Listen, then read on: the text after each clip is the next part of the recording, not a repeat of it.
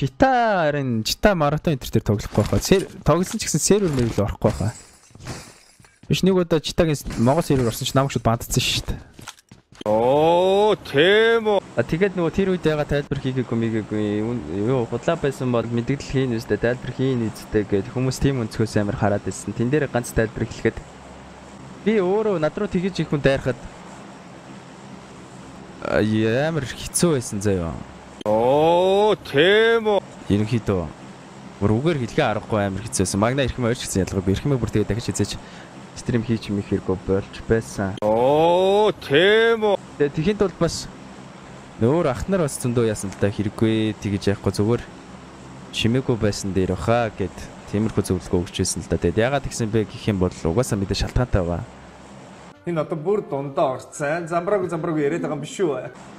Битэдэд тийм санагдсан юм чинь одоо жишээлбэл тэр их хар мас буцаад тэр чи одоо бас л эмхтэй хүн шүү дээ. Тэр их хар мас тэр хүнлэн ингээд чиглэлчих юм бол бүр тэнчэнээс 9 7 дорын болж магадгүй байхгүй юу?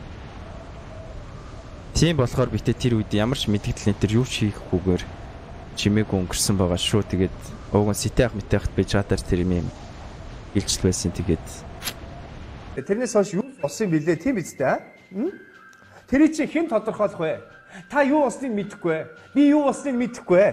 А энийг чинь тодорхойлдог юм цагдаагийн тодорхойлт байдаг. мэдхгүй.